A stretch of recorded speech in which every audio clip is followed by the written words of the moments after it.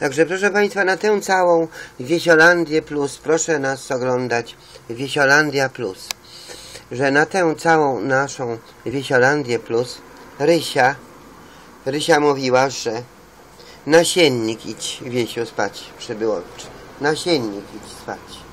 Biblia w śmietniku, a Wiesio Przybyłowicz nasiennik to na pewno zasłużył. No, spać gdzieś trzeba, wiadomo, ale jemu się marzyło łóżko. Łóżko to trzeba sobie, łóżko to trzeba sobie zorganizować. Radio Concita, tak FM Euro Concita. Barbie, Baby, Langstrom Extra. Łóżko to trzeba sobie zorganizować. Organ, organizy, organizy. Na łóżko trzeba sobie zapracować, proszę Państwa. Nowy Testament, chrześcijańskie pismo greckie, tak żeby Nowy Testament był widoczny. Tak żeby Nowy Testament był widoczny, to znaczy chrześcijańskie pisma greckie. Chrześcijańskie pisma greckie. Limit twój wiesiu przybyłowicz się skończył.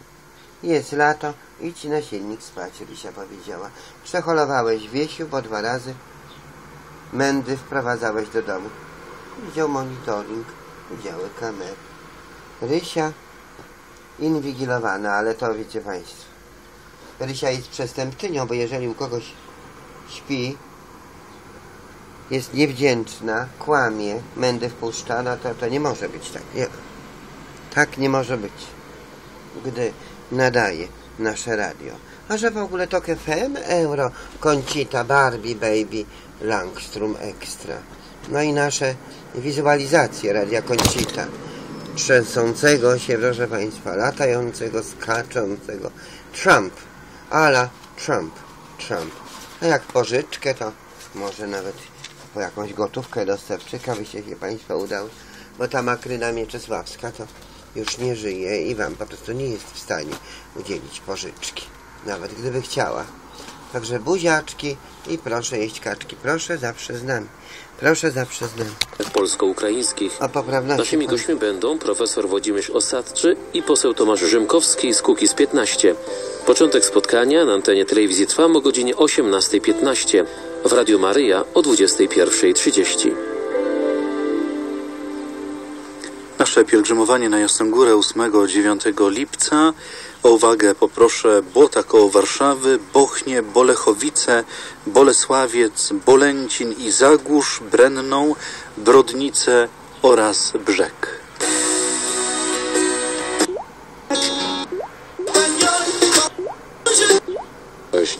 e, w tworzeniu świata, w tworzeniu em, tego wszystkiego, co, czym się zajmujemy, e, e, co, co, co, co pokazujemy. Tego typu e, ostrość to jest zawsze dobre, bo, bo, bo to jest mocne, bo to jest wyraźne, bo to jest wyraźnie zaadresowane w jakimś tam celu. Więc gdzieś tam mi się wydaje, że, że, że taki świat do, do, dość wyraźny, może nie karykaturalny, ale, ale lekko przerysowany, w każdym razie bardzo wyraźnie e, budowany, staramy się w, w tym szwejku wykreować. A czy lubimy śmiać się z samych siebie? Widzowie lubią przychodzić, śmiać się z siebie, z własnych ludzkich zachowań, z tej głupoty, w której jest metoda. Pewnie zależy jak kto, no jedni bardziej, inni, inni, inni mniej. Ge- Generalnie chyba tak, bo to jest dość bezkarne, to jest chwilowe. E, wszyscy mamy e, świadomość, że no co, no, e, przedstawienie teatralne polega na tym, że w pewnym momencie gasną światła. Przenosimy się, jak przedstawienie jest dobre, no to przenosimy się na dwie godziny w inny świat. Później te światła się zapalają. No i widzowie wstają i idą e, do domu. No tyle tego wszystkiego. Tak jak już Pan powiedział, w główną rolę tego przedstawienia, w rolę Szwejka wcieli się Zbigniew Zamachowski, ale na scenie zobaczymy również Milenę Suszyńską, Marcina Bubułkę, Krzysztofa Dracza, Mirosława Kropielnickiego, Henryka Simona i Michała Zielińskiego. Zatem mężczyźni zdominują to przedstawienie.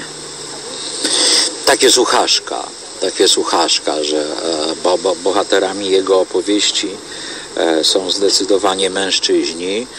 No i tak musi być, skoro e, rzecz e, dotyczy armii, policji, e, te, te mę- męskiego, e, męskiej części e, świata. No, o, o, o tym głównie e, jest ta opowieść, więc więc e, to także ustawia, jakby tego nie adaptować, e, no, naszą opowieść.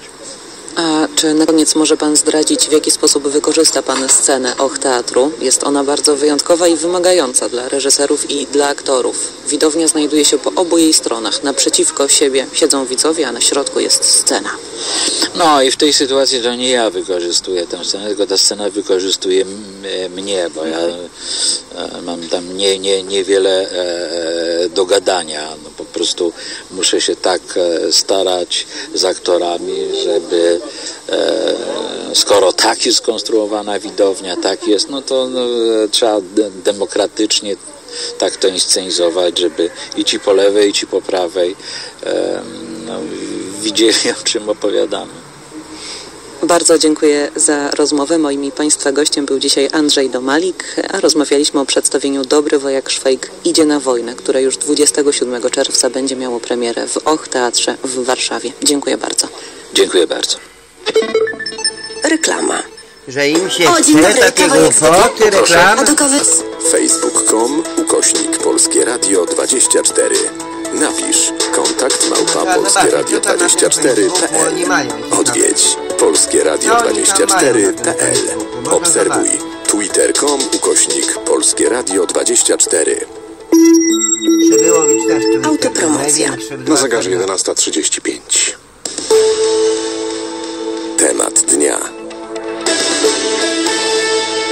Dziś w Dortmundzie spotykają się politycy niemieckiej socjaldemokracji, żeby rozmawiać o programie wyborczym, o programie zawartym w tekście pod tytułem Czas na więcej sprawiedliwości. To drugi już zjazd partii, w którym uczestniczy Martin Schulz jako przewodniczący SPD. W marcu w Berlinie został jednogłośnie wybrany na szefa partii. Wtedy ze stanowiska ustąpił Sigmar Gabriel, który dziś jest szefem niemieckiej dyplomacji. Te Dwa zjazdy w marcu w Berlinie i dzisiejszy w Dortmundzie dzielą raptem trzy miesiące, ale przy okazji różnią te dwa zjazdy, różni te dwa zjazdy właściwie wszystko. W marcu Martin Schulz, jak Deus Ex Machina, pojawił się w niemieckiej polityce. Fatowany był jako odnowiciel, jako zbawca niemalże, który ma wyciągnąć partię z zapaści który jest tym politykiem, który podejmie rękawice i wreszcie pokona. Angelę Merkel. Dzisiaj sytuacja wygląda zupełnie inaczej. W studiu Michał Kędzierski, Centrum. Inicjatyw Międzynarodowych. Dzień dobry.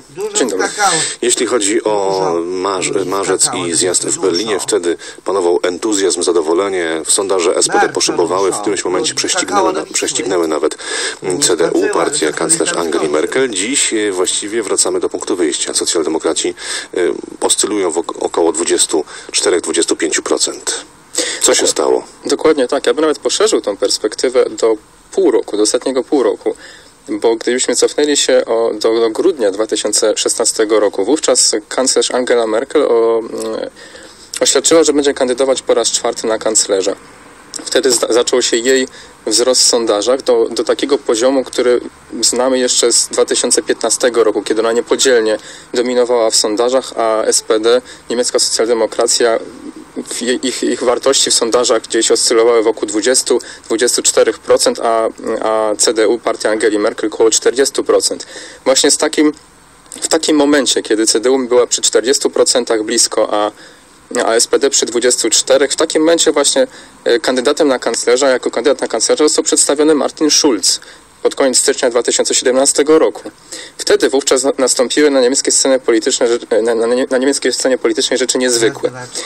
Bo wówczas, co, czego się nikt nie spodziewał, nawet Martin Schulz to później przyznał, e, jego je, je, sondaże SPD skoczyły od 20 wówczas 2% do 32% w ciągu miesiąca, a sondaże e, CDU spadły, CDU-CSU spadły od około 38-40% do 30%. To był właśnie ten moment, o którym Pan wspomniał.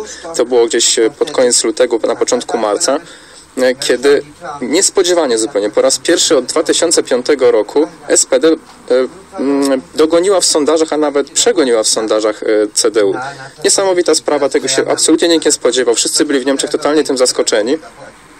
I rzeczywiście to jest bardzo ciekawe. Myślę, że pewnie poruszymy ten temat e, później, dlaczego tak się wydarzyło. Natomiast teraz mamy po tych trzech miesiącach od tego zjazdu e, w marcu, kiedy st- 100% głosów, po raz pierwszy w ponad stuletniej historii SPD, 100% głosów na zjeździe dostał Martin Schulz jako, jako e, kandydat na prezesa partii, na przewodniczącego partii.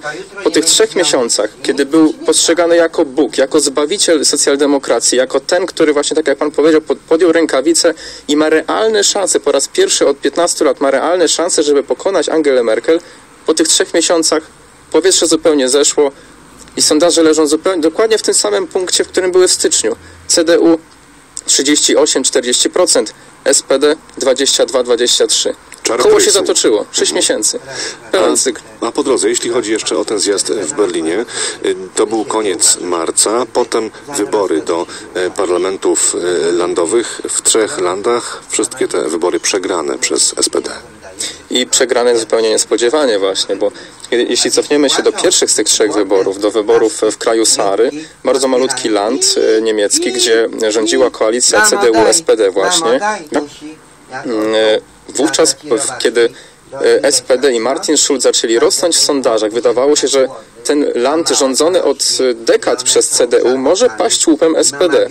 Okazało się, że nic bardziej mylnego, bowiem w mediach zaczęły się wówczas e, plotki o tym, że władze w landzie, matematyczne szanse wówczas się takie pojawiły, że władze w landzie przejmie lewicowa koalicja e, SPD z partią Die Linke.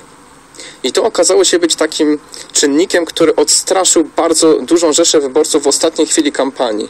I kiedy wydawało się, że ten wynik, przez ostatni tydzień przed, przed tymi wyborami, kiedy wydawało się, że ten wynik może być bardzo zbliżony CDU i SPD, na, na końcu okazało się, że te partie dzieliła ogromna różnica, blisko 10%.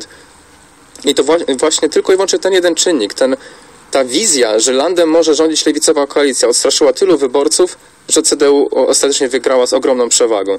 To był bardzo duży błąd w ówczesnych e, liderów SPD w tym landzie, że pozwolili, e, nie dostrzegli tego ryzyka, że niemieckie społeczeństwo, społeczeństwo tego landu nie jest gotowe na taką koalicję. I że pozwoliło w ogóle, dopuściło do tego, że media na ten temat tak, tak e, szeroko, szeroko opisywały tę, tą, tą możliwość. I to był początek klęsk. To był początek, to był początek, dwie. ale jeszcze do tej klęski, do, do tej porażki, może jeszcze nie klęski, do tej porażki nie przywiązywano dużej wagi, bo w tym landzie i tak rządziło CDU, a koniec końców i tak koalicja pozostała taka, jaka była, czyli SPD dalej rządzi z CDU.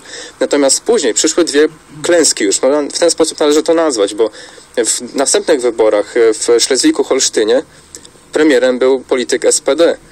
W Nadrenii Północnej Westfalii premierem była polityk SPD.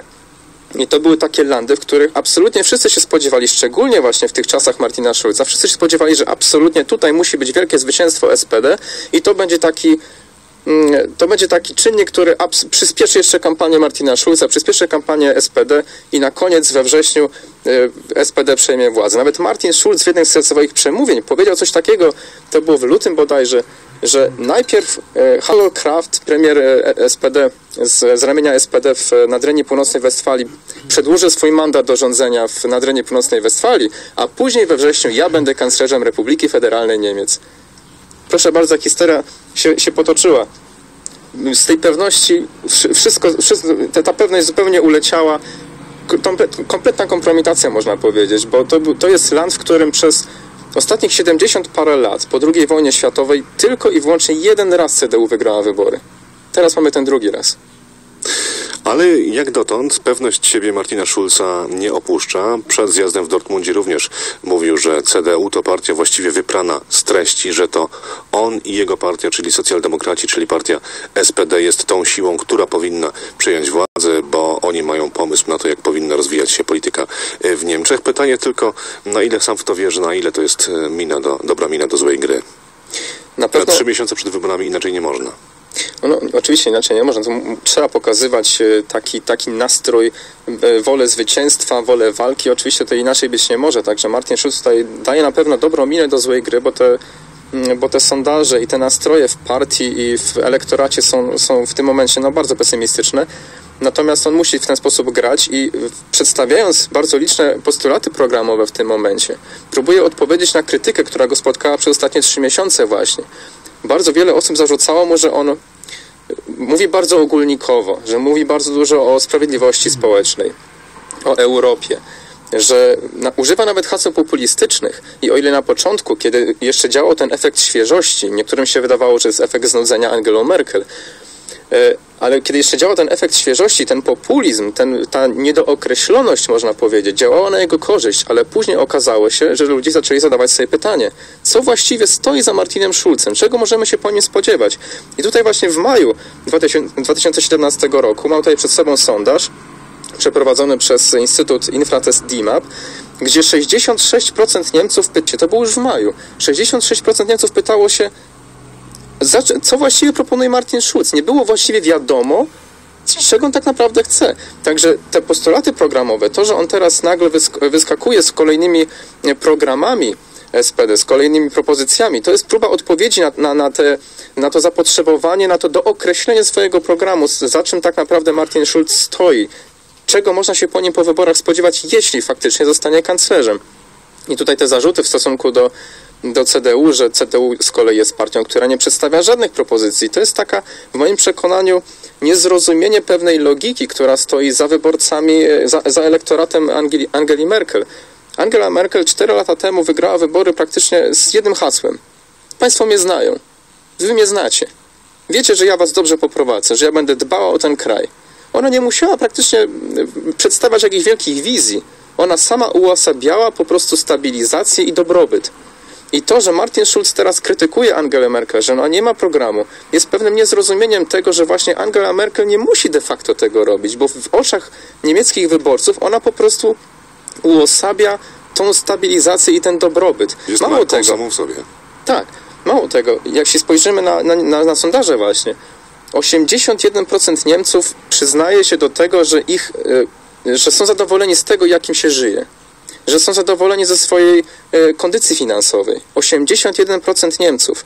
Proszę spojrzeć, jeśli teraz e, Martin Schulz i SPD całą swoją kampanię wyborczą opierają na haśle sprawiedliwości społecznej, Wydawałoby się, że w takim razie nastrój w społeczeństwie powinien być taki, że ludziom nie wiedzie się dobrze, że oni chcą jakiejś zmiany. Tymczasem 81% jest zadowolonych z tego, jakim się żyje.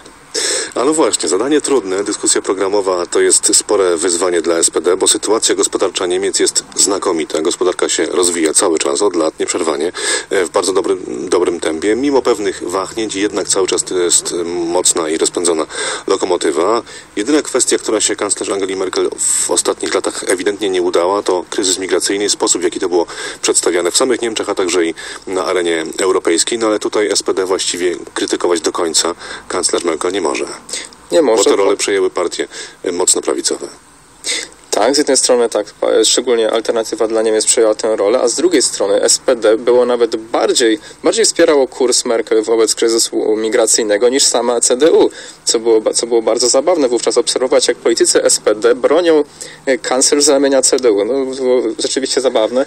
Natomiast to jest właśnie to, czego, czego im brakuje. Martin Schulz nie może de facto krytykować Angeli Merkel za, za kryzys migracyjny, za politykę wobec kryzysu migracyjnego, bo on nawet był w swoich propozycjach i postulatach szedł nawet dalej niż Angela Merkel i CDU. No co, co SPD było pozostaje ba- w takim razie Schulzowi? Co pozostaje socjaldemokracji? No i to jest właśnie dobre pytanie, bo wydawało się, że mm, Niemcy de facto nie widzą wielkiej różnicy między, między osobowościami, mo- może nie między osobowościami, a właśnie tym, czego można się spodziewać po tych politykach.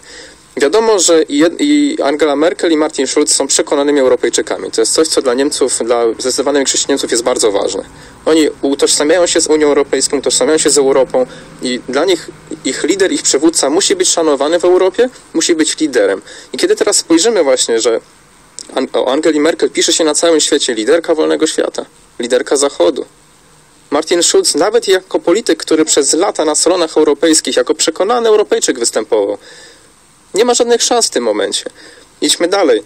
O sprawiedliwości społecznej powiedziałem. Tu, tu rzeczywiście Niemcy e, większe kompetencje jakby przypisują Schulzowi i SPD niż CDU, że SPD jest, byłaby w stanie jakby wyrównać dysproporcje społeczne. Natomiast y, wracamy do punktu wyjścia. Niemcy są zasadniczo zadowoleni z tego, jak im się żyje. To nie jest jakby kluczowy punkt kampanii. Nie można o tym, na tym oprzeć kampanii wyborczej. Idąc dalej, mm, właśnie kryzys migracyjny. Tutaj SPD jakby cały czas konsekwentnie opiera się, e, wspiera to stanowisko, które było przyjęte dwa lata temu na początku kryzysu migracyjnego.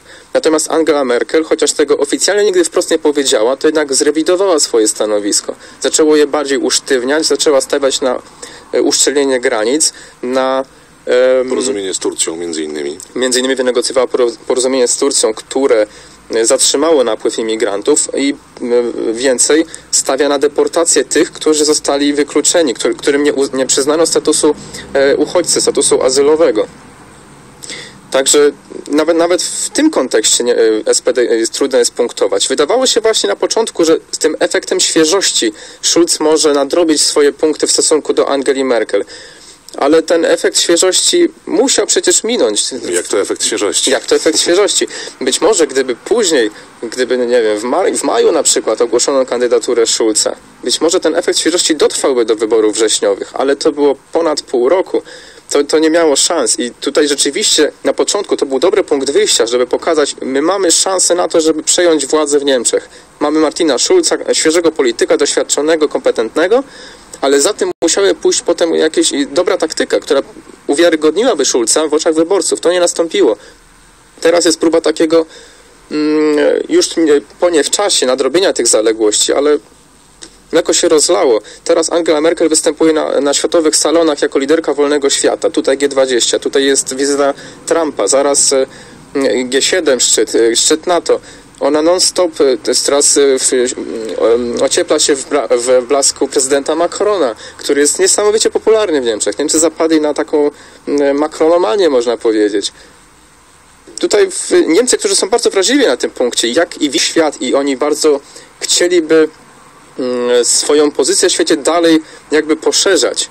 Chcą być, chcą być widziani jako liderzy świata. I tutaj Angela Merkel daje im właśnie taki asumpt do tego, że ona jest liderką świata. Oni widzą w nią liderką, liderkę świata, którą szanuje świat. Myśli pan, że role już są rozpisane na trzy miesiące przed wyborami parlamentarnymi w Niemczech? Kancler, kanclerz Angela Merkel po raz czwarty obejdzie go jesienią, a Martin Schulz będzie tym drugim? Wszystko na to wskazuje, że Angela Merkel zostanie po raz czwarty kanclerzem Niemiec. Myślę, że od tego możemy zacząć.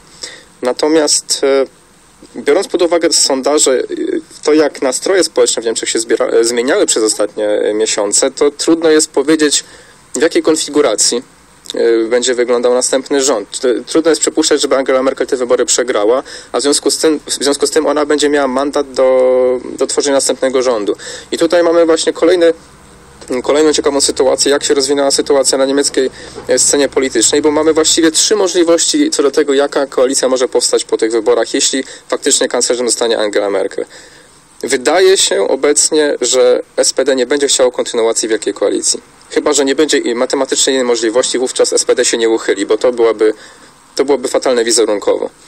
Natomiast jeśli będzie inna matematyczna możliwość, a wszystko na to wskazuje, to albo będą e, kandyda- e, koalicjantem mm, CDU, CSU zostaną liberałowie, którzy nadrobili w sondażach właśnie ich sukcesy wyborcze w tych trzech e, wyborach landowych. e, Pozwoliły im na, na, na nadrobienie w sondażach. Obecnie stoją w, przy blisko 10% nawet. Mhm. FDP odżywa ewidentnie. FDP ewidentnie odżywa, chociaż przez y, wyleciała z Bundestagu przed czterema laty i przez blisko 3 lata nie było w stanie dogonić 5% progu wyborczego. Obecnie stoją przy blisko 10%. I na niektóre sondaże właśnie dają już matematyczną większość koalicji CDU, CSU, FDP. Jeśli nie starczy matematycznie te, e, e, mandatów tej, tej koalicji, wówczas mamy możliwość dokoptowania jeszcze do tego zielonych. Taka koalicja właśnie powstała w Szezwiku-Holsztynie po niedawnych wyborach e, em, do, do Landtagu, do, do Parlamentu Krajowego tego, tego landu. Właśnie e, e, HDC, czyli CDU, do tego liberałowie z FDP i Zieloni z, i, i, i Partia Zielonych. I to jest też taka szansa, tym bardziej, że już od wielu miesięcy e, taką możliwość brano pod uwagę, że właśnie mm, CDU, jeśli FDP nie wejdzie do, do Bundestagu, CDU będzie właśnie próbowała koalicję z, z Zielonymi. Niektórzy nawet przypuszczają, że otwarcie się na uchodźców to był taki kolejny, próba takiej kolejnej przełamania pewnego tabu po stronie e, Hadeków, które umożliwiłoby w przyszłości, e, ułatwiłoby negocjacje koalicyjne z, z Zielonymi. Bo tak jak wiemy, jeszcze przed paroma lat CDU przejęła postulaty e, ochrony polityki klimatycznej od, od Zielonych. To była taka pierwsza próba zbliżenia. Potem nastąpiły ko- kolejne próby zakończone właśnie tym kryzysem uchodźczym i takim otwarciem się, który, otwarciem się na uchodźców, którego można było się spodziewać po Zielonych, można było się spodziewać po, po SPD, ale właśnie niekoniecznie po CDU. Tym, tym, tymczasem kanclerz Merkel pokazuje tutaj kolejną swoją zieloną twarz. Z tego też powodu mówi się o niej, że ona wyjmuje elementy, poszczególne elementy programów innych partii, w, wtłacza te elementy do programu e, partii własnej i w ten sposób osłabia przeciwników. W ten sposób osłabia przeciwników. e, Dokładnie, buduje swój program ten, w- na, na tej zasadzie, że mm, de facto od każdej partii bierze po tak, na- najbardziej chwytliwy e, postulat, który cieszy się w- wielkim poparciem społecznym i to buduje wizerunek CDU jako partii, która jest partią ludową, która wsłuchuje się w głos wyborców, a z drugiej, z drugiej strony buduje wizerunek Merkel jako tej matki. Bardzo wielu Niemców, bardzo wielu Niemców e, czasami e, z uśmiechem, czasami całkiem poważnie mówi o Merkel Mutti, mama. Bo ona właśnie, jak ta mama, troszczy się o ten naród, słuchuje się w głos swoich dzieci i realizuje jego postulaty. W niemieckiej politologii e, ta taktyka mm, e, została nazwana asymetryczną demobilizacją. Wszystkich Polega to właśnie na. tym, że wyjmując najbardziej chwytliwe postulaty od każdej partii, przyciąga się jej wyborców do siebie, jednocześnie demobilizując jej wyborców. Ta taktyka świetnie zdała egzamin właśnie 4 lata temu, kiedy CDU koniec końców z CSU stanęły, zdobyły 41% głosów, a inne partie, wszystkie inne partie zanotowały spadek.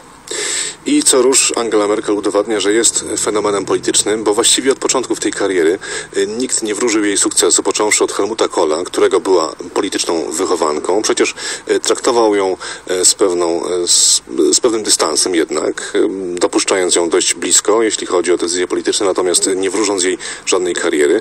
I, I o tym mówi także sytuacja sprzed dwóch lat, kiedy rozpoczął się kryzys migracyjny, kiedy posądzano kanclerz Merkel o to, że to ona jest główną sprawczynią tego mm, kryzysu, to po pierwsze i stwierdzając przy okazji, że popełniła tym samym największy swój polityczny błąd i to jest jej zmierzch, że z tego już się nie podniesie. Tymczasem minęło kilkanaście miesięcy, CDU przoduje w sondażach, kanclerz Angela Merkel ma duże szanse, żeby po raz czwarty objąć kanclerz, e, urząd e, kanclerza Niemiec. Dokładnie tak. No te szanse są, są, są bardzo wysokie. Obecnie CDU nad, na, CDU-CSU nad SPD wynosi e, 15-16 punktów procentowych, także po, po kryzysie migracyjnym i związanym z tym spadku w sondażach e, i z, e, spadku w sondażach nie tylko partii, ale także samej kanclerz Merkel nie ma kompletnie śladu, także wydaje się, że faktycznie tutaj no wszystko wskazuje na to, że, że to Merkel po raz czwarty dostanie ten mandat do, do rządzenia. Czy niemieccy wyborcy wolą pewność niż nudę? Dla nich ważniejsza jest ta pewność i przekonanie, że wiedzą czego się spodziewać po polityku, nawet jeśli tak. trochę im się zdążą opatrzyć przez lat na przykład 12, tak jak to jest to w przypadku kanclerz Merkel. Zdecydowanie tak, szczególnie w czasach, w których oni e, czują się pewnie. Czują się pewnie, są zadowoleni ze swojej sytuacji, e, tak materialnej, jak i właśnie osobistej. Cieszą się z tego, że Niemcy są poważane w świecie, że ich, że ich liderka, że, że, że kanclerz Merkel jest tak poważana w świecie. Im daje to takie poczucie stabilizacji. I w tym poczuciu stabilizacji i zadowolenia z własnej sytuacji życiowej, oni nawet są w stanie właśnie ten, to poczucie nudy, e, bo już przecież kanclerz Merkel rządzi 12 lat. Wydawałoby się, że to jest cała epoka. W Polsce nie do pomyślenia zupełnie. Natomiast w Niemczech e, to nie jest zresztą pierwszy przypadek. E, Kanclerz Kohl rządził 16 lat, Cztery kanclerz. Adenauer 14 lat. Także to nie, to nie, są, to nie są os- odosobnione przypadki. E, Niemcy cenią sobie po prostu stabilność. Oni chcą być przekonani, że na czele państwa stoją ludzie, którzy wiedzą, co robią i że oni nie muszą się tym martwić. I po dużych wahnięciach, przypomnijmy chociażby przez moment wysokie sondaże AfD, alternatywy dla Niemiec, partii antyimigranckiej, przypomnijmy sobie przez moment także wysokie notowania SPD, wszystko zdaje się wracać w utarte kolejne. Dokładnie tak, dlatego właśnie powiedziałem o tym, że niemiecka polityka po raz kolejny zatoczyła takie koło, bo z tych głównych partii każda partia miała swoje 5 minut, można powiedzieć. Tak i e, alternatywa dla Niemiec była w sondażach około 15%, to jeszcze było w czasach e, kryzysu migracyjnego, kiedy te nastroje społeczne były bardzo e, przeciw e, kanclerz Merkel i przeciw jej polityce otwartych drzwi. E, Potem był wzrost zielonych z kolei po, po niesamowitej wygranej Winfrieda Kretschmana w, w, w Badenie-Württembergii. Też blisko 15%. Wydawało się nawet, że e, mogą przegonić SPD. To był ten czas, kiedy, kiedy w Austrii wygrał e, kandydat zielonych na prezydenta. No a jak się skończyło, o tym właśnie rozmawialiśmy przez, przez ostatnich dwadzieścia kilka minut. Przypomnijmy, dziś w Dortmundzie zjazd niemieckiej socjaldemokracji. O tym, co dzieje się w Niemczech, w niemieckiej polityce na naszej antenie mówił Michał Kędzierski z Centrum Inicjatyw Międzynarodowych. Bardzo dziękuję za rozmowę. Dziękuję serdecznie. Reklama. Upały to nie są żarty. Osłabienie, złe samopoczucie, ciągłe pragnienie i brak energii. Organizm się odwadnia. Sama woda nie wystarczy. Potrzebujesz elektrolitów i glukozy. Jest na to sposób. Litorsal w postaci tabletek musujących szybko gasi pragnienie, nawadnia i utrzymuje prawidłowy poziom płynów i elektrolitów podczas upałów. Litorsal. Żywność specjalnego przeznaczenia medycznego. Dostępny w aptekach. Po reklamie. Autopromocja. Dziś godzina 12.08, cykl Więcej Świata. Tym razem będzie o mowie tronowej królowej Elżbiety II, napisanej przez gabinet Teresy May, o projektach nowych ustaw na kolejne dwa lata i co na ten temat ma do powiedzenia Bruksela. Serdecznie zapraszam, Elżbieta Królikowska-Avis, wieloletnia korespondentka Wielkiej Brytanii. Autopromocja. To Polskie Radio 24 zbliża się południe.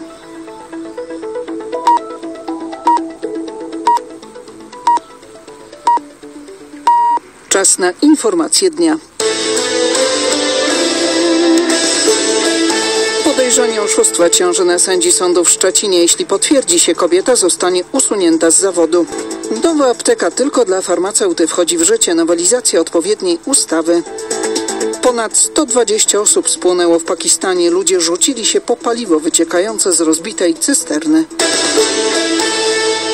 Dorota Wojtalczyk, zapraszam. Sędzia Szczecińskiego Sądu Okręgowego podejrzana o to, że w jednym ze sklepów dopuściła się oszustwa. W supermarkecie miała przeklejać ceny na sprzedawanych w promocji przewodnikach turystycznych, aby zapłacić mniej. Zyskałaby na tym 30 zł.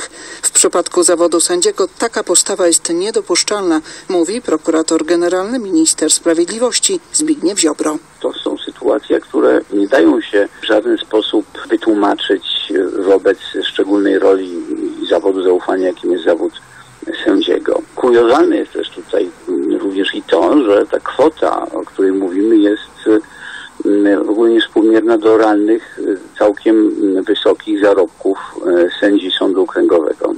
Jeśli podejrzenie potwierdzi się, sędzia zostanie pozbawiona immunitetu oraz usunięta z zawodu, zapowiada minister Ziobro. Jak zapewnia, traktuje tę sprawę priorytetowo, bo jak podkreśla, w interesie całego społeczeństwa jest, aby takie przypadki szybko rozstrzygać i osądzać. Dlatego też poleciłem prokuraturze, żeby ta sprawa była prowadzona możliwie intensywnie. Jeśli wszystkie te okoliczności potwierdzą się, to prokuratorzy mają obowiązek niezwłocznie wystąpić z wnioskiem o uchylenie immunitetu. No i trzeba doprowadzić do usunięcia takiej osoby z zawodu. Z danych resortu sprawiedliwości wynika, że sędzia Sądu Okręgowego zarabia od ponad 13 tysięcy do przeszło 14 tysięcy złotych. Na razie sędzia Sądu Okręgowego w Szczecinie została odsunięta od czynności służbowych na miesiąc. Od dzisiaj nowe apteki będą mogli otwierać tylko farmaceuci. Wchodzą w życie zapisy nowelizacji ustawy Prawo farmaceutyczne.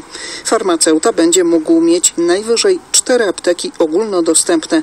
Na tych zmianach zyska pacjent, przekonuje prezes Naczelnej Rady Aptekarskiej Elżbieta Piotrowska-Rutkowska. Ma ona zapowiedź nadmiernej koncentracji aptek w miejscach, powiedziałabym, handlowo jak najbardziej dogodnych, natomiast pacjent często no, ma utrudniony dostęp do apteki. Apteki powinny być rozmieszczone równomiernie i ceny dla pacjentów w aptekach nadal powinny być korzystne, dlatego że będzie element konkurencji. Ta regulacja dotyczy nowych aptek.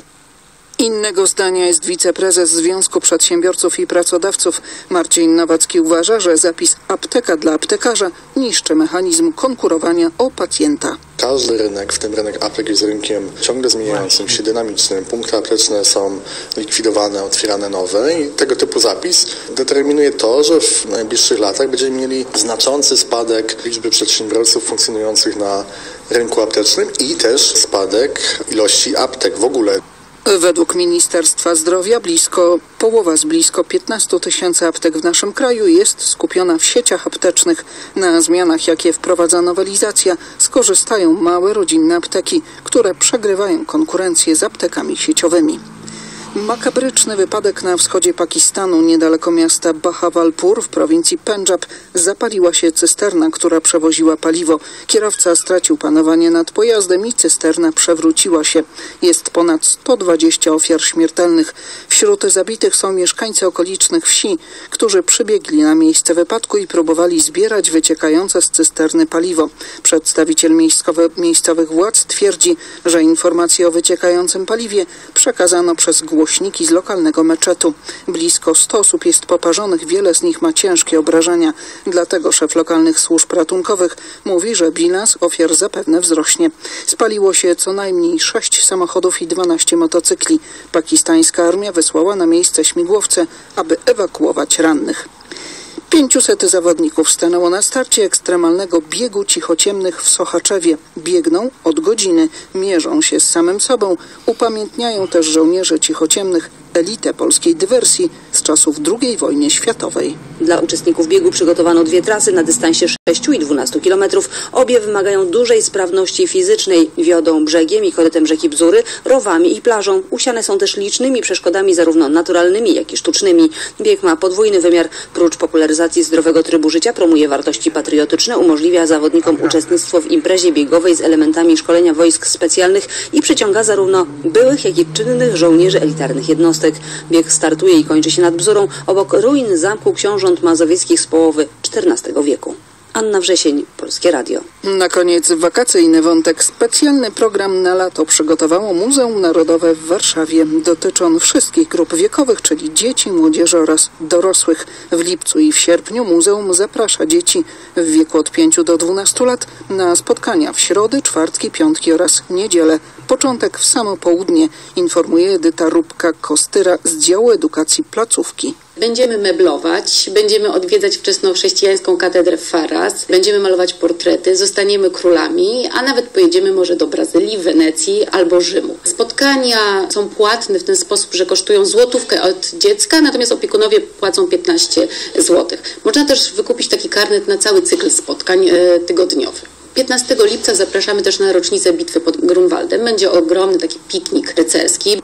Dorosłych Muzeum Narodowe zaprasza w czwartkowe wieczory o 19.30 na spotkania w galeriach stałych. Będzie o sztuce renesansu, e, sztuce e, baroku, ale będzie też można się dowiedzieć, co pito, e, co jedzono, jak się bawiono właśnie w dawnych czasach, w wieku XVIII. Letni program Warszawskiego Muzeum Narodowego rozpocznie się w najbliższą środę i potrwa do końca sierpnia.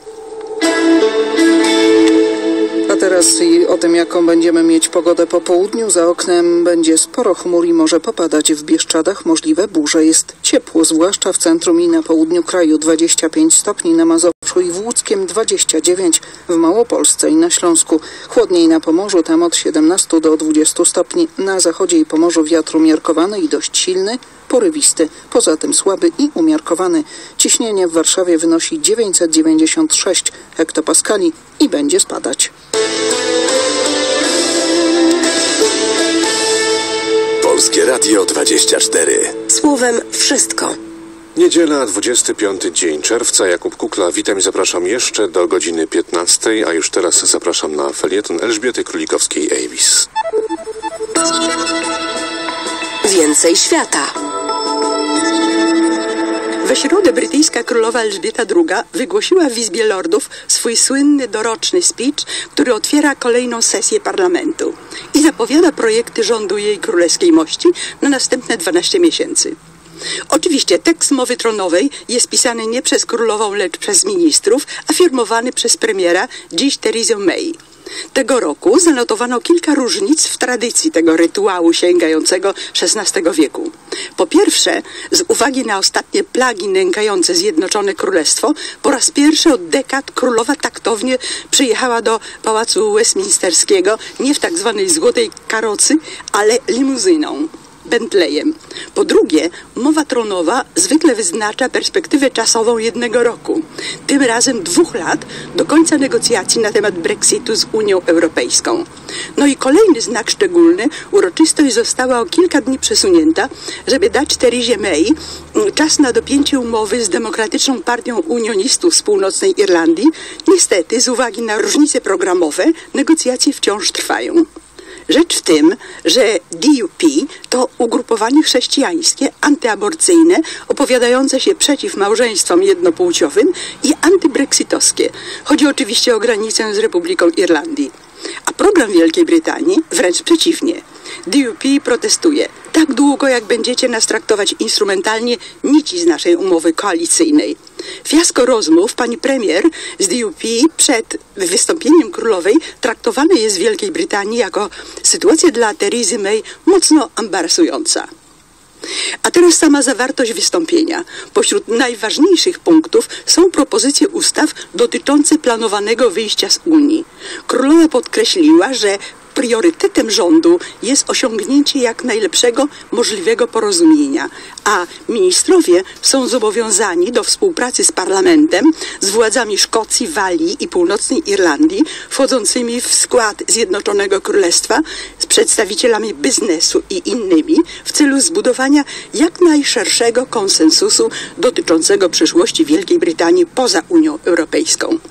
Jednocześnie Elżbieta II nakreśliła projekty ośmiu głównych ustaw powiązanych z Brexitem, między innymi ustawy uchylającej, mm, przenoszącej prawa Unii do prawodawstwa brytyjskiego, a także kilka nowych przepisów dotyczących reżimu celnego, handlu międzynarodowego, imigracji, rolnictwa, rybołówstwa i procedur nakładania sankcji międzynarodowych. Widać tu rękę Terezy May, która nie przestaje powtarzać, że jej priorytet to to get Brexit right, czyli przeprowadzić Brexit jak najszybciej i jak najkorzystniej dla Brytyjczyków, którzy o tym także wciąż pani premier powtarza, dali jej mandat do negocjacji. Coraz widoczniejsze jest, że perspektywa miękkiego Brexitu oddala się, ponieważ społeczeństwo wysp po każdym kolejnym zamachu bardziej przestraszone sytuacją, część posłów torysowskich oraz przynajmniej połowa gabinetu domagają się wersji hard, bardziej zdecydowanej. Już podczas pierwszego spotkania ministra do spraw Brexitu Davida Davisa i negocjatora Brukseli Michela Barniera dowiedzieliśmy się, że będzie to wyjście i ze wspólnego rynku, i z Unii Celnej. Szczęściem Bruksela, zapewne pod wpływem wielu plag egipskich, które ostatnio spadły na Wielką Brytanię, zdecydowała się na bardziej przyjazny ton rozmów. W rozmowie tronowej sporo miejsca poświęcono także sprawom wewnętrznym, podyktowanym nową sytuacją kraju. Bardziej zdecydowana walka z ekstremizmem, podjęcie pracy nad reformą systemu socjalnego, chodzi o mniejszą dostępność oraz niższe zasiłki, ostrzejsze penalizowanie przemocy domowej i, to zapewne skutek negocjacji z opozycją, znika proponowany niedawno przez panią premier tak zwany demencja tax, wyższe opłaty za opiekę nad starszymi pozostającymi w domach. Sytuacja jest wciąż bardzo poważna. Nawet konserwatywny Daily Telegraph mówi o chmurze niepewności nad rządem Theresa May z powodu przeciągających się rozmów z DUP. A także prawicowy spektator pisze, mowa tronowa ze środy to ostatnia szansa dla torysów, żeby się wzięli w garść i do pracy. Jest w tym wiele prawdy. To był komentarz Elżbiety Królikowskiej-Avis. Do pracy. 12 minut po godzinie 12 zmieniamy temat, porozmawiamy o muzyce, a konkretnie o płycie Król Wszechświatów Mateusza Mateo Otręby to płyta poświęcona jednej myśli wychwalaniu Boga. Wiele inspiracji do piosenek na płycie pochodzi z tekstów biblijnych. Z Mateuszem Otrębą rozmawia Jacek Frędzel. W studiu Polskiego Radia 24 witam serdecznie Mateusza Mateo Trębę. Dzień dobry. Dzień dobry Państwu. Pretekstem do rozmowy jest płyta Król Wszechświatów. Dlaczego taki tytuł? No właśnie, dlatego, że ta płyta dedykowana jest jednej osobie, która wbrew pozorom, wbrew temu, jak postrzegamy dzisiaj y, rzeczywistość, jest królem. Czy możemy mówić o osobie? Y, Możemy mówić jak najbardziej o sobie. Nie o energii, nie o jakiejś rzeczywistości odrealnionej, ale o osobie, która ma swoje przymioty, cechy, y, która coś, y, która jest cały czas aktywna i zaangażowana w losy świata. Zdradźmy zatem, o kogo chodzi. Cała płyta jest dedykowana i stąd ten tytuł jednej osobie, Chrystusowi, Jezusowi Chrystusowi. Z uwzględnieniem oczywiście jego ojca i wszystkiego, co dookoła się dzieje. Tak, tak. Trójca Święta jest, jest generalnie, y, się przewija cały czas y, w każdej piosence. Płyta jest bardzo monotematyczna. Trójce będą On jest pierwszy i ostatni. On jest źródłem i przyczyną. To przez niego i dla niego powstał świat. Raczej Przez niego rozumiem. A dla niego? Tu wracamy w sumie do takich, y, takich fundamentalnych prawd, i które dla jednych są, są rozkoczą, dla innych są, są bzdurą, bo tak jak moglibyśmy stawiać człowieka w centrum wszechrzeczy, no to w, człowiek się wypala, człowiek ma swoje granice, człowiek w końcu zapada się w swojej małostkowości, nie radzi sobie z sam, samym sobą, y, co widać w historii y, świata. Y, W centrum tej twórczości jest w sumie żadna to nowość, bo, bo ja się przyłączyłem tylko do jakiegoś historycznego nurtu, gdzie artyści od, wielcy artyści y, y, tworzyli niezwykłe dzieła w oparciu o inspirację, która płynęła chociażby z Pisma Świętego, czy ze studium tej postaci. Do Pisma Świętego odwołuje się pan praktycznie we wszystkich tekstach. Tak, to, to było takie założenie. Co myślę, jest tyle różnego ym, Ale albo wynoszenia Chrystusa tak? na sztandary y, różnych ideologii, albo jest tyle y, żonglowania jego, jego tak? osobą, więc ja stwierdziłem, dobrze, jeżeli ja przejmując sztafetę jako artysta, miałbym opisać jego, jego istotę, jego, jego osoby, no Jak to wrócę do źródeł, tam gdzie on jest opisywany, gdzie jest dobre, nie tylko nie? historycznie, jako, jako ktoś, kto chodził po ziemi, ale również jako ktoś, kto, mm, kto dokonał y, bardzo, radykalny, ru- bardzo radykalnego ruchu, jeśli chodzi o, zmianę Postrzegania świata? postrzegania świata i w ogóle jako ktoś, kto, y, kto w, y, no, z takim impetem y, wtargnął w historię ludzkości. 2000 lat historii Kościoła, Jakim 2000 impetem? lat Jezus Jezusa Chrystusa. Jezus Tak, no ja się odwołuję tutaj jeszcze woli. wcześniej, że przez Niego i dla Niego i stąd wracając do, do Pana y, pytania, y, przez Niego i dla Niego i tutaj jest, y, wracając do Księgi Genezis, jest opisane, że przez Niego powstało wszystko, co powstało i dla Jako Niego, czyli cel życia no, człowieka no. jest tylko w Bożym kontekście. Bez Niego człowiek jest sam dla siebie Bogiem, a że jest istotą skończoną, no to jest skończony. A nie ma tu przypadkiem takiego pierwiastka egoizmu Bogiem, Bogiem, Bożego no, i Bożego mądry. i ludzkiego? Ludzkiego Dobra. na pewno. Trudno mówić o boskim egoizmie. My tego nie pojmujemy, dlatego że jeżeli on nie ma początku i końca, to dla nas jest w tym sensie nie, nie do ogarnięcia. Ludzki egoizm jest udowodniony yy, na chociażby moim, yy, moim przypadku, w moim życiu. W razie to widzimy, że człowiek jakby yy, tak z uporem maniaka stawia siebie ciągle w centrum wszechrzeczy, chce określać istotę, cel funkcjonowania swojego i, i świata. Mm, I ja osobiście uważam, i znowuż to nie jest Tak. moja ideologia, bo Chrystus w ogóle nie jest dla mnie ideologią. Kiedy się takową staje, to jest, jest to groteskowe y, na ustach, na sztandarach, na y, różnych właśnie takich kontekstach ludzkich potyczek y, y, i nieporozumień. W każdym razie dla mnie Chrystus jest osobą, która która w sumie sięga po człowieka, żeby człowiek y, wrócił do miejsca swojego przeznaczenia. Chrystus panuje, ubrany w dostojność, ubrany w majestat i Przywdział potęgę. i co z tego wynika? To jest inspiracja płynąca z Psalmu 93. I tutaj widzimy taki kontekst, że On jest wszechwładny, że jest ponad czasem, że jest wszechobecny, wszystko widzi, wszędzie jest, wszystko ogarnia, nic nie jest, nie, nie jest w stanie przed Nim czy umknąć Jego uwadze. I to jest taka perspektywa w sumie, jeżeli On taki jest, to człowiek, który się do Niego zwraca, jest w najbezpieczniejszym, najbardziej mm, takim wiarygodnym miejscu, w którym mógłby cokolwiek w swoim życiu zbudować. A gdyby pan to odniósł teraz do siebie, to co się panu udało zbudować w oparciu właśnie o Chrystusa, o wartości, o których pan w tej chwili mówi? Tak. Ja bym powiedział, że wcześniej, zanim go, y, do niego się nie zwróciłem, to byłem człowiekiem, który bardziej miał świadomość tego, do jakiego, do jakiej poprzeczki powinien równać. I to jest męczarnia, jakby staranie się uczynić ze swoim życiem y, czegoś, na co się do końca nie ma wpływu. Człowiek jest istotą mylącą się, błądzącą. I człowiek, tak, i człowiek nad pewnymi rzeczami w swoim życiu nie ma mocy. Nad pewnymi uwarunkowaniami, słabościami, które są głęboko gdzieś e, za, zakotwiczone.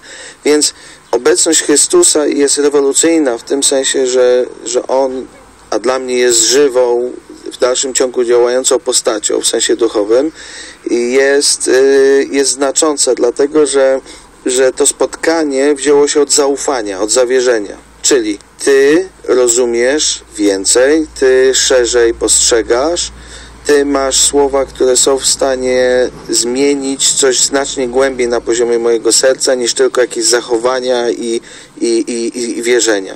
Czyli serce. Czyli myślimy nie rozumem, a kierujemy się sercem. Ja myślę, że żeby człowiek zaczął inaczej funkcjonować i żyć, musi się na poziomie jego serca bardzo głęboko coś wydarzyć.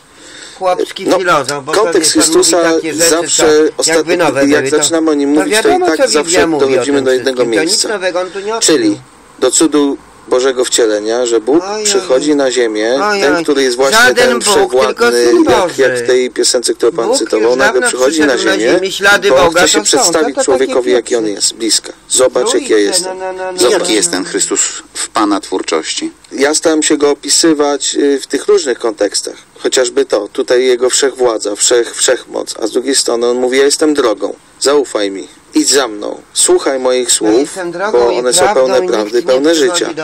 Zaufasz, będziesz zbierał z tego, y, tego, tego owoce. Nie zaufasz, musisz sobie sam radzić w życiu. Jeden z tekstów no odnosi się do e, takiego dziwnego dosyć przesłania. Ty już przenikasz i znasz. I jesteś pewną ostoją, najsłabszym podnosisz, ochraniasz tarczą swą, czyli jest swego rodzaju z jednej strony wyzwaniem, ale jednocześnie stoi na straży. E, Pierwsza rzecz, która się wydarzyła po moim spotkaniu z Chrystusem, to jest to, że On mnie zaprowadził przede wszystkim... A jak ono wyglądało? Byłem nastolatkiem. Wychowałem się w rodzinie religijnej, w pewnej tradycji i to było dobre. Akurat nie mam jakiegoś na gorszącego doświadczenia z, z kościołem. No, może mam, ale nie warto o tym teraz mówić. W każdym razie ja doszedłem do wniosku, jako młody chłopak, że Ewangelia, którą słyszę, jest do mnie powiedziane. Ja muszę z nią coś osobiście zrobić. I że nie mogę żyć tylko w jakichś zwyczajach czy w tradycji, bo na dłuższą metę nie ma to głębszego sensu dla mnie i dla jakości mojego życia. Więc osobiście musiałem się do niego zwrócić. I osobiście zacząłem do niego mówić. W A jak odpowiedział? serca. No odpowiedział w sposób bardzo zdecydowany i mocny. Czyli wiem, że zaczął, y, zaczął działać w moim życiu. To się wzięło z tego, że powiedziałem, nie chcę żyć dalej tak jak żyję, w oparciu tylko o wartości i tradycje, ale chciałbym, aby Twoje słowa i to, co do mnie mówisz, zaczęło mieć realny wpływ na moje codzienne życie. A jak w tym kontekście ma się pana rodzina? Ojciec, mąż? Y, No to ma wpływ na moje postrzeganie małżeństwa i rodziny. Prawdopodobnie, gdyby nie słuchał jego słów, nie byłbym mężem mojej żony już dzisiaj. Bo nie byłbym w stanie poradzić sobie z rzeczami, które, z którymi myślę, że wielu z nas y, sobie nie radzi. Czyli Jak przyziemne przebaczać? kłopoty. Tak, jak przebaczać, jak widzieć więcej niż tylko z perspektywy długości własnego nosa. Jak poradzić sobie z rzeczami, które, których nie rozumiem, a mnie przerastają na przykład we mnie samym. Gdyby nie moc Chrystusa, do którego się zwracam codziennie, to, y, to wielu cennych rzeczy, jak chociażby Pan wspomniał, małżeństwo czy moje ojcostwo, byłoby w opłakanym stanie albo by już w ogóle było pozamiatane. Czy ta płyta to jest swego rodzaju Pana modlitwa? Pewnym sensie tak. Ona jest napisana z tęsknoty, z wdzięczności, z zachwytu. Ktoś mógł powiedzieć, że to jest uwielbienie dla Boga. Uwielbienie w tym sensie, że jest bardzo dużo o nim. Jest opisywana jego, jego osoba i to, co dla mnie uczynił. Y, W tym sensie ktoś mógłby powiedzieć, że to jest muzyka religijna, chociaż ja nie czuję się artystą religijnym, bo y, tylko po prostu artystą, który akurat w tym momencie zdecydował się opisać y, skrawek tej rzeczywistości, tak jak umiał, powiedziałbym z, wdzięczności. Z wdzięczności. Tak jak Ojciec w niebie umiłował Cię, jak do końca Ty nas pokochałeś, tak jak oddał wszystko we władanie Twe, tak Ty nam ofiarowałeś się. Czy to jest odniesienie do Pana wnętrza, czy też do swego rodzaju przesłania dla innych? To jest moje osobiste doświadczenie, ale myślę, że tak jak jest y, w życiu każdego z nas, że te cenne, najważniejsze rzeczy, one, mm, one y, przez nas dotykają innych ludzi. Wszystkie słowa, bo te słowa z piosenek, które cytuję, e, pochodzą właśnie z tej płyty, która Mhm. ukazała się, właśnie się ukazała. I mam takie przemyślenie, bo pan cały czas odnosi się do jednego absolutu, do swoich emocji, do swojego odczuwania, do swojego przeżywania. Czy to odczuwanie i przeżywanie e, dzielą z panem inne osoby? Oczywiście poza żoną i synami. Tak, no chociażby muzykanci, z którymi tworzymy ten zespół, to są ludzie o różnych historiach, wrażliwościach swoich i poza tym, że posługujemy się językiem muzycznym do, do, do komunikowania, to w sumie wszyscy mamy podobne doświadczenia, pomimo różnych historii, ale podobne doświadczenia tego spotkania i wpływu Bożego realnego y, w naszym życiu. To mamy wspólne. Y, No, okazuje się, że część ludzi, którzy, którzy słuchają tej muzyki, dają nam znać, słuchaj, ciekawe, ja też y, tak mam, albo tak bym chciał. A czego pan tak naprawdę poszukuje w życiu? Wow, dobre pytanie, dziękuję. Czego ja naprawdę poszukuję? Mm, ja bym powiedział tak, że ja w sumie znalazłem już e, takie miejsce mojego spełnienia, które jest w tym rewirze Bożego wpływu, czyli tam jest y, wszelka miłość, której potrzebuję, uznanie i chwała, za którą, za którą tęsknię. I powiedziałbym, to czego oczekuję, to jest to, żeby to wpływało i, mm, y, i to, o czym marzę, aby ta rzeczywistość i ta osoba wpływała jeszcze głębiej na, na, na taką rzeczywistą codzienność mojego życia. A jeszcze dalej, czego marzę, aby to miało jakiś pozytywny wpływ na innych ludzi. Żebym nie przeszkadzał, a pomagał. Na kogo? Konkretnie na kogo? Na moją żonę, na moich dzieci, na Pana i na wszystkich moich słuchaczy. Czy ta muzyka może być inspirującą, bo to jest specyficzna muzyka. Miałem okazję przesłuchać kilku fragmentów e, piosenek. Zastanawiam się, czy ta muzyka jest w stanie zmienić patrzenie na świat, patrzenie na Chrystusa. Czy pan pisząc ją bardziej chciał dokonywać tej zmiany, czy raczej przekazać siebie? Siebie nie tak bardzo, bo to nie jest moja autorska płyta w tym sensie opowiadania swoich historii. W tym kontrowersyjnym świecie. Tak, ja nie, nie opowiadam o, o swoich rozterkach, y, o swoich doświadczeniach y, y, miłosnych lub innych. Ja tu staram się opisywać osobę, staram się podziękować, wychwalić, adorować, wskazać na, na pewne przymioty. I y, ona jest dziwna, zdaję sobie sprawę w kontekście y, popkultury, to, to jest, jest kosmosu. W sensie historycznym to coś normalnego. No, artyści zawsze z tego zachwytu i pod wpływem y, y, swoich doświadczeń duchowych y, popełniali różne dzieła i niejednokrotnie wielkie dzieła, chociażby Jan Sebastian Bach, który jest y, postacią y, taką naczelną w tym sensie tego nurtu, czyli podpisywał wszystko soli deo gloria, cokolwiek tworzył, miał świadomość, że jest tylko na Bożą chwałę, a nie, postrzeguje, nie postrzegamy go jako religijnego nawiedzeńca jakiegoś, tylko jako świetnego twórcę, który miał inspirację, miał ciągle motyw do pisania, do tworzenia. I był kulturotwórczy jeszcze przed tym, czyli nie tylko coś zachowywał dla siebie, ale wpływał na kulturę, zmieniał ją. Powiem tak, od 20 lat piszę swoje piosenki różne i nagrywam płyty i nagle się okazuje, że to moje doświadczenie, czy to opisywanie ma znaczenie dla innych ludzi w oderwaniu ode mnie. Jak przekazuję jakiś komunikat, a w tym momencie staram się odwrócić uwagę od siebie, zwrócić uwagę na kogoś, w tym momencie na Chrystusa, jeżeli to wpłynie na osobiste refleksje, poszukiwania, albo chociażby to, że ktoś otworzy Ewangelię i zacznie zadawać pytania, drążyć i przemówi ludzkim głosem do Boga, czyli języku swojego serca i powie, a no zaraz, tu ludzie spotykali ciebie, ten facet ludzie, śpiewa, ludzie. mówił o takim doświadczeniu, jakie ma, a czy ty masz coś dla mnie? Czy możesz coś dla mnie uczynić? No to jeżeli coś takiego się wydarzy, no to jest to sukces światowy dla mnie. Jeżeli ja tylko mogę być jakąś inspiracją. A nie jest to tak przypadkiem, że ludzie właśnie em, zwracając się ku Bogu m, oczekują, że ich wesprze, że im coś da? Może tak jest, to ma krótkie nogi,